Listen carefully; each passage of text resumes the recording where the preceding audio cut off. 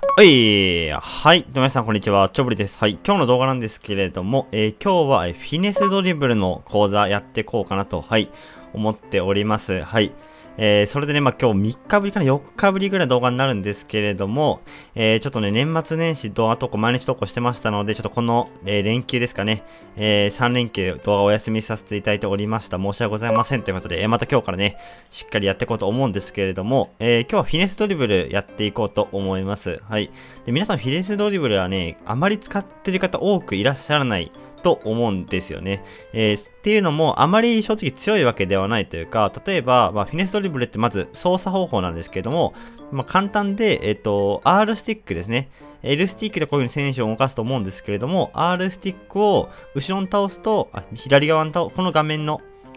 選手が右側向いてる状態で、左側に倒すとボールを引く感じ。奥に倒すと、こんな感じ。で、逆に倒すとこんな感じで、前に倒すとちょっと横向きながら横向かないな。ちょんちょんちょんちょんってやる感じと、こう横向きながら前にこうボール運んでいく感じ。といろんなこうフィネスドリブルがあるんですけれども、正直結構難しいんですよね。はい。フィネスドリブルっていうのも前作、ウィレ2020から搭載された機能で、え非常にね、なんか使い勝手が難しいというか、まあ、ダブルタッチとかシューキャンとかに比べて、まあ、強いフェイントだったりとかドリブルではないっていう、まあ、ことなので、まあ、あんまり使ってない方多いんじゃないかなと思うんですけれども、えー、その中のフィネスドリブルね、非常に、えー、使える、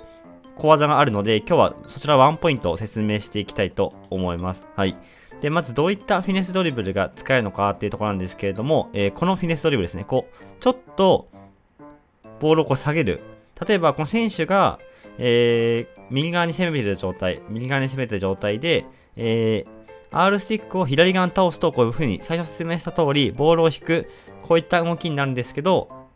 こういう風に足の裏でボールをこういう風に下げる動きですね。はい。これが非常に、えー、使えます。多分このフィネスドリブルが一番使えるし、猛者の方でも一番使うことが多いドリブルなんじゃないかなと。はい、フィネスドリブルなんじゃないかなと思います。はい。で、これどういう時に使うのかっていうことなんですけれども、えー、それも動画でね、えー、また詳しく、動画じゃない、試合のクリップを見ながらね、詳しくご説明していきたいと思うんですけれども、まあ、まずこちら説明させていただくと、例えばサイドバックが上がってくるときに、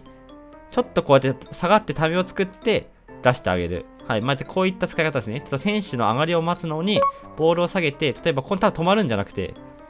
とただ止まってますんじゃなくて、相手のプレッシャーを避けるために、下げて出してあげる。ですとか、相手をドリブルで食いつかせて、食いつかせて、こう抜くとか、ドリブルにも非常にワンポイント使えるので、はい。僕はフィネスドリブルでは、まあ、唯一使ってるのはこの技かなと。この小技かなと思います。特にこういう風に横にドリブルしたりとか、こういう風なのは使わなくて、本当に僕が使ってるフィネスドリブルはこれだけですね。ちょっと下げてパスとか、ちょっと下げてシューキャンとか、こういうの結構使ったりします。はい。まあ、ってことでね、えー、まあ、この説明だけではなかなか分かりにくい部分が多いかなと思いますので、まあ、あの、実際のね、試合の中からそちらのクリップ持ってきたので、そちらの方を見ながら今日もご説明していきたいと思います。はい。それでは、どうぞ。はい。それでは早速、えー、試合のクリップの方を見ながら、えー、フィネスドリブルについて解説していきたいと思います。はい。クリップ2つほど用意いたしました。2パターンありますので、ぜひご覧ください。これ1試合での様子ですね。はい。まずこれ48分になります。まずね、見ていただければなと思います。ここで、クライフ当たって、ネドベドここでボール奪うのかな？ボール奪って、デルピエロ、ロナウド、デルピエロ、ネドベト出して、ここで下がって出すと。はい、今分かったでしょうかはい、もう一度見ていきたいと思います。ちょっと音声オンになってるな。はい、今のシーン、ちょっと下がって見ていきたいと思います。ここで、デルピエロ、ネドベド、出すんですけど、ここで、はい、見たとき、これパスコースがないんですよね。この時。本来は真ん中に出せればいいんですけど、パスコースがない。で、デルペロン出してもちょっと前厳しいかなっていう状態が見えたので、その時に見えたのが、この画面の右下で、プジョルが上がってきてるのが見えたんですけど、えー、まあこの状態ですぐ出してしまうと、まあ言ったらネドベドの平行に出す形になってしまうので、ちょっとためが欲しいっていう状態ですね。はい。その時にできるだけプジョルに高い位置にボールを渡したい。このスペースを活かしたい。その時に、ここで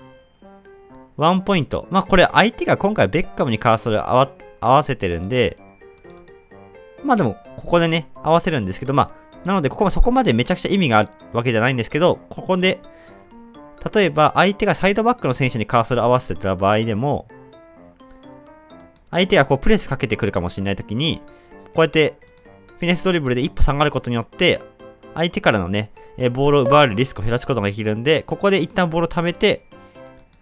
流してあげると。このワンポイントなんですけど、このためが非常に重要で、えー、これが例えば今、えー、ネドベドがためずに横に出すか、ちょっと前の陣に出すかっていうのだけで、全部攻撃のやりやすさっていうのが変わってくるので、非常にワンポイント、まあ、あの、いい使い、使いやすい、まあ、フィネスドリブルなのかなと思います。一応もう一回それを踏まえた上で見てみてください。で、エルピエロ、ネドベド、ちょっとフィネス入れて貯めて、プジョル。上がりを待ってあげるみたいなイメージですね。はい。これが、えー、言ったら周りを使うときに使うワンポイントフィネスドリブルっていう感じですね。はい。なんで、周りが上がってきてるとき AI が走ったりとか、まあ自分が、あのー、ムービング入れて走らせたときに、ワンポイントのフィネスを入れて、上がりを待って、より高い位置でボールを渡してあげるっていう技になります。はい。こちらが、まあそのパターンのフィネスドリブルですね。はい。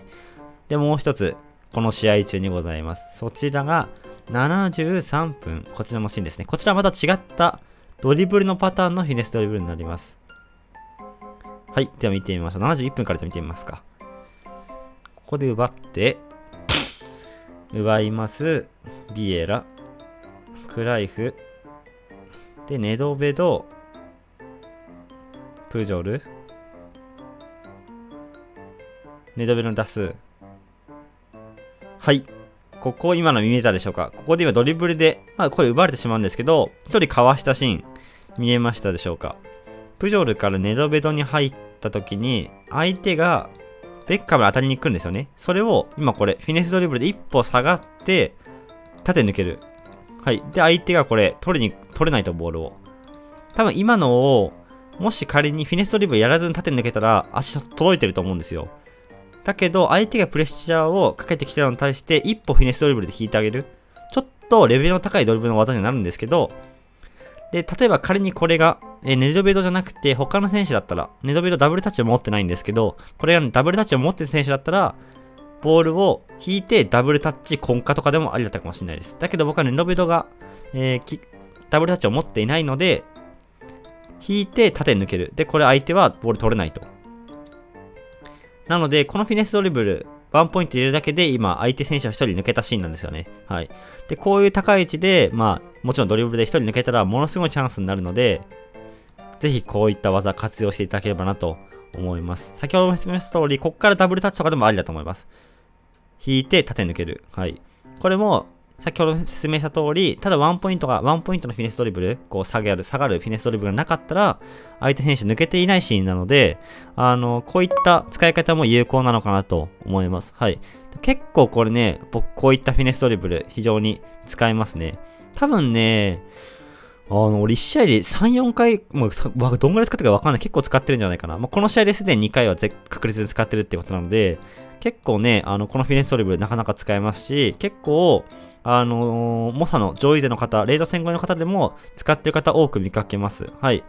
なので、まあ、あの、フィネスドリブル、ドリブル全くやってないよって方、もしかしたら来作、再来作、フィネスドリブルが強くなってくるって可能性もあるので、ぜひ今のうちからちょっと慣れるっていう意味も込めて、あの、ぜひこのフィネスドリブ練習していただけるといいのかなと思います。まあ、こういったね、あの、なんだろう、ワンポイントアクセントを加えることによって攻撃の幅も広がりますし、より、あの、なんだろう、この、まあ、